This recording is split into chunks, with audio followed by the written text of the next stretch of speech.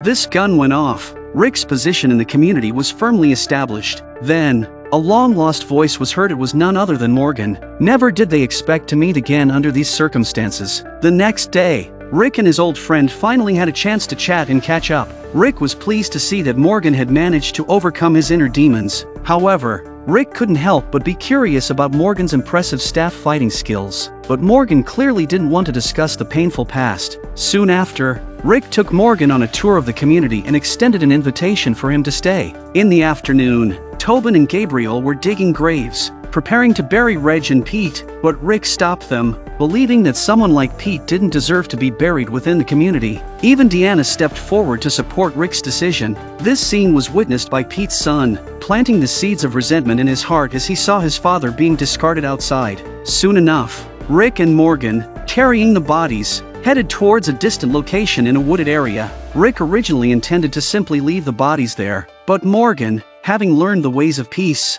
insisted on giving the deceased a dignified burial. Without paying attention to Rick, Morgan began digging. At this point, Rick sensed that something was off and started calling out Morgan's name. Morgan, thinking that Rick wanted to stop him, didn't respond. There seemed to be some noise in the distance, so the two hurriedly followed the sound. They arrived at the edge of a cliff and, upon getting closer, felt their scalps tingling. In the pit below, they discovered it was filled with zombies a truly horrifying sight. At this moment, there was also a commotion behind them. Ron was running fast, with several zombies chasing after him. The child had no experience dealing with zombies and stumbled along the way. Luckily, Rick intervened in time to stop him, otherwise, the consequences would have been unimaginable. The zombies chasing Ron also fell into the deep pit. The remaining two zombies were no match for them. As they stood up, they looked at Ron, puzzled as to how he ended up there. He explained that he just wanted to see where his father was being buried. Morgan's breathing was heavy as he took out his binoculars to observe. The zombies were densely packed, and there must have been tens of thousands of them down there,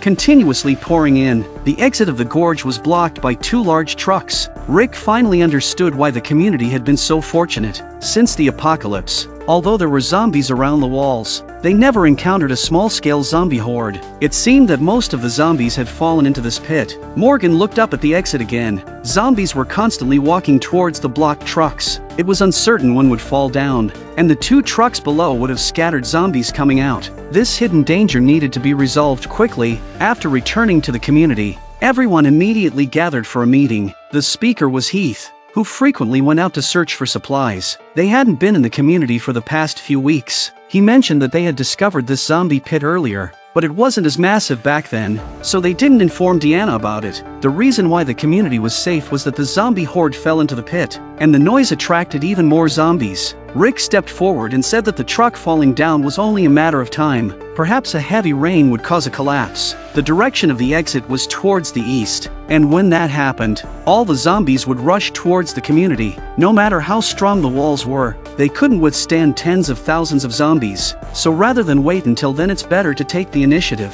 This man's name was Carter. He and Reg were both architects and were dissatisfied with Rick's leadership. Carter believed that they should focus on fortifying the weak areas instead of taking unnecessary risks. Unexpectedly, Deanna spoke up and supported following Rick's plan. She had come to realize that the community needed reform. With her authorization, Rick began assigning tasks. It was clear that they couldn't eliminate all the zombies, so they had to lure them away from the community to a distant location. This dangerous task was initially assigned to Daryl, but for safety reasons, Sasha and Abraham volunteered to go. The rest of them have to do support work. They implemented a voluntary sign-up system for the mission because of its high risk. Michonne quickly and actively volunteered to participate, as did Glenn. Surprisingly, Gabriel also requested to join, but Rick mercilessly refused him, knowing well the reasons behind his request. Carter chimed in again, opposing their plan and stating, You guys are just theorizing on paper. What will you do if we can't control the zombies when the time comes? Just because you went through that incident, does it mean everyone should listen to you? Rick looked at him with a speechless expression, contemplating the audacity of this troublemaker. He replied, I am saving your lives. Carter became more and more enthusiastic in his objections, mentioning Rick's atrocities within the community. Deanna had to step in and stop him, silencing him. Soon, Heath and other members of the community also actively joined. as they frequently went outside and understood the severity of the situation, Nicholas also raised his hand to participate, as he had completely regretted his actions regarding Glenn and hoped to make amends. Seeing everyone's enthusiasm, Rick summarized the meeting, and urgent preparations followed. Rick took a map and began planning to lead the zombies onto the road and keep moving. However, this can be troublesome when zombies are passing through the community. Finally, Eugene suggested using large metal plates from the construction site and securing them to reduce the impact. All eyes were on Carter at that moment. It was his professional expertise that was needed. They acted immediately. One side of the three-way road led back to the community. Everyone enthusiastically began the construction work. After three hours, a portion of the steel plates had been securely fixed. As long as they were sturdy enough, they could withstand the impact. At that moment, Rick noticed the presence of a zombie and quickly alerted Carter, who turned around to check.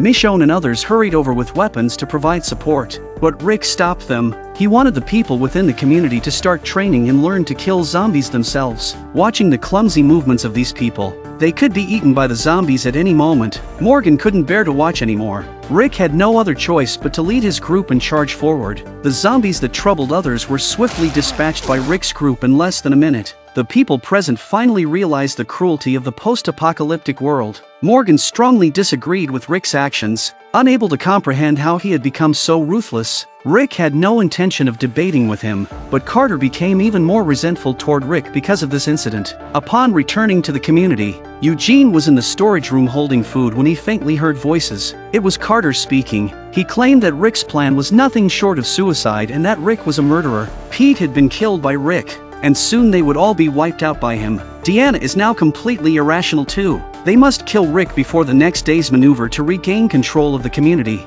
Eugene listened in shock, accidentally dropping a can of food to the floor. The noise immediately caught their attention, and in his panic, he even bumped into the shelves. Carter walked in, having overheard their conversation, and saw Eugene as a living time bomb. Without hesitation, he aimed his gun, intending to eliminate Eugene. Fortunately, at that moment, Rick and the others walked in and witnessed the scene. Carter trembled and said, I'm going to take back control from you. Rick ignored him and turned to Tobin and the others, asking, Is this what you all think too? But they all stated that it was only Carter's opinion. Then Rick pretended not to care and spoke casually, seizing the opportunity to take Carter's handgun. Carter's skills were really lacking, and Rick easily subdued him with a couple of moves. Without hesitation, Rick made it clear to him, the community is now in my hands. I'm protecting your lives. It's delusional to think you can take away power. Carter's overall abilities were far inferior to those of Rick and his group. He thought he was as good as dead.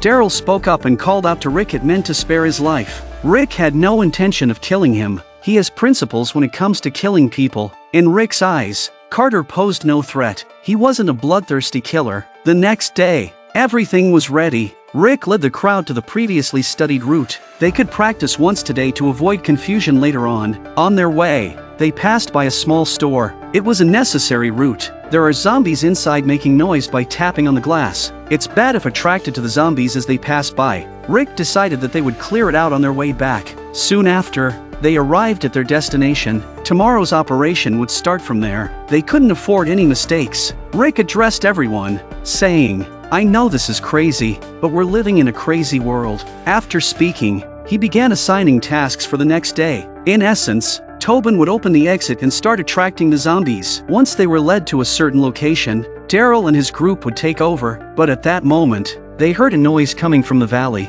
Everyone immediately panicked. Unfortunately, the place where the truck was parked collapsed. Everyone anxiously watched, praying it wouldn't fall down. Today was just a practice, and they weren't prepared. But things didn't go as planned. The truck rolled down. Rick shouted, The gap is open. Let's start the action now. Everyone quickly took their positions. At this point, many people on the field were a bit confused. Didn't they say it was a drill? But under Rick's command, they had no choice but to take their places. Glenn called two people to join him. They were going to deal with the zombies in the store they passed by earlier. Otherwise, it would cause major problems. Several signal flares were immediately launched into the air. They needed to lure these zombies to other areas. Otherwise, their home would be destroyed. Under Rick's command, Tobin also drove away the vehicles blocking the path below. The exit of the canyon was now fully open. Zombies stumbled out from both exits. Everyone retreated along the planned route. The next stage was to attract the zombies. Glenn and the others retreated along the planned route.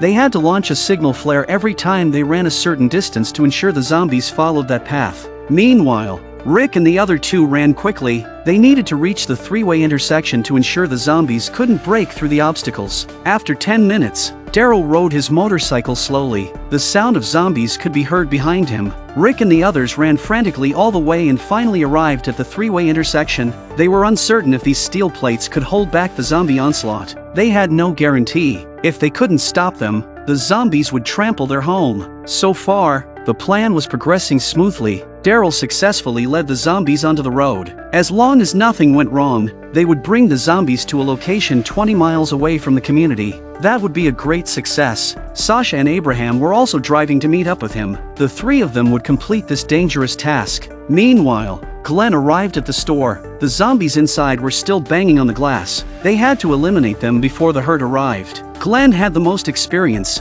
so he immediately directed them to take action. He assigned Nicholas to open the door and release one or two zombies at a time in a continuous cycle, ensuring their safe elimination. Heath had some doubts about Glenn's arrangement, but Nicholas spoke up for Glenn, allowing Heath to trust him unconditionally. Just as the three of them were about to take action, Nicholas opened the door, revealing another rolling shutter gate behind it. By this time, the horde of zombies had reached the intersection. Rick and the others quickly fired the signal guns, drawing the zombies towards the east. Daryl and Sasha led the zombies, moving slowly. Now they could only hope that the steel plates could withstand the impact of some of the zombies. Soon, Daryl and the others began to turn, and fortunately, the zombies followed suit. However, some zombies still collided with the steel plates, making a terrifying noise. Tens of thousands of zombies passed by them.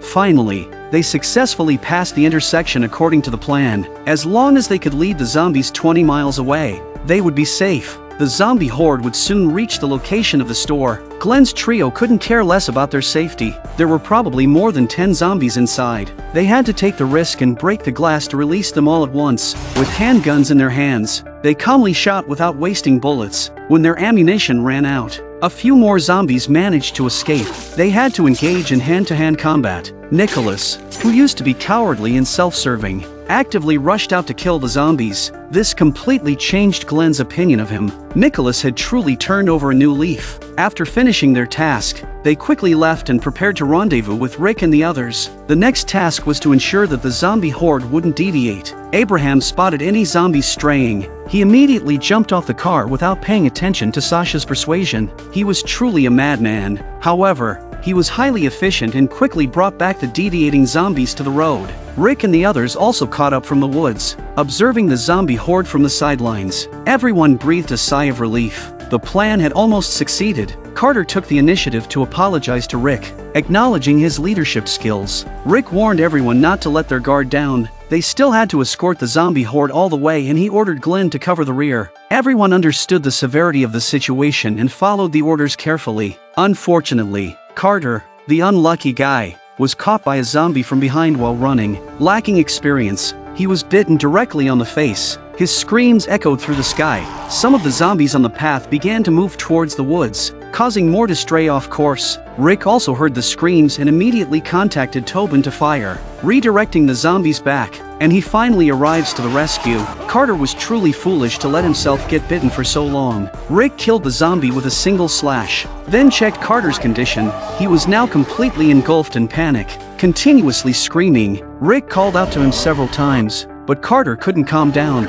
Rick had no choice but to take inhumane measures to silence his screams. The gunshots quickly brought the zombies back on track. Rick didn't have any issues with what he did, except that it seemed inhumane, especially considering the way Morgan looked at him, as if saying, How could you become like this? Morgan wanted to lecture Rick, but he was outright rejected. Rick only needed Morgan's help. The zombie horde was now approximately two miles away from the community, and it could be considered a near victory in this battle. But just then, a loud horn blast came. Everyone turned their heads towards the direction of the community. Something was wrong. Could there be trouble within the community? The latter half of the zombies on the road started moving towards the woods. Heading straight to the location of the community. How could there be such a deviation when it was so close to success? In this situation, the second half of the zombies walked towards the source of the sound. The community was now in imminent danger, and everyone wondered what had happened. Just half an hour ago, the community was going about its usual peaceful life. Carol was still discussing everyday matters with the women, while Deanna and her assistant Maggie were planning the community's development. Eugene and Tara were assisting in the medical room, where they had met the new doctor, Denise. However, she had only been an intern before the apocalypse. After a while, Carol returned home to bake cookies when she noticed her neighbor smoking across the street. It seemed their lives weren't going well either. Suddenly, a stranger rushed in and attacked the neighbor, brutally killing she. Carol sensed that something was terribly wrong. Deanna and Maggie also heard screams from within the community. They were about to ask the patrolling man what had happened when two Molotov cocktails were thrown. The man fell down with a scream. Maggie quickly grabbed her gun and rushed to investigate. Everything was too bizarre. The man on the ground had already lost his life, and the person who set the fire had quickly escaped. Carol immediately went to Rick's house and instructed Carl to protect his sister at home while she went out to support. Fortunately, thanks to Rick, their team still had guns. Many intruders had stormed into the community, looking like savages, armed with cold weapons. They killed anyone they encountered without a trace of mercy. Carol quietly hid in the bushes, looking for an opportunity,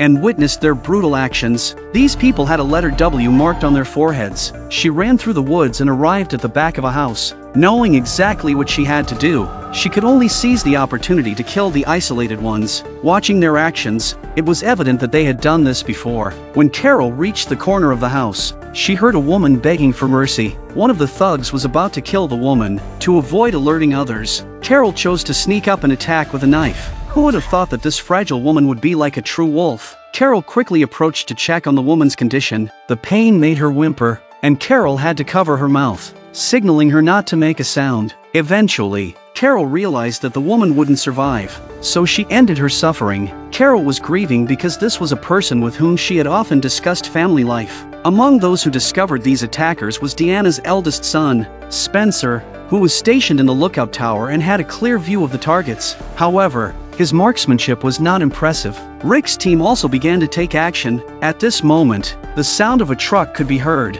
Someone was trying to ram through the fence with the truck. Without hesitation, Spencer fired his gun, and a series of shots indicated that the driver was likely killed instantly. The truck crashed into the tower where Spencer was positioned, but fortunately, the fence held up. However, the truck's horn kept blaring,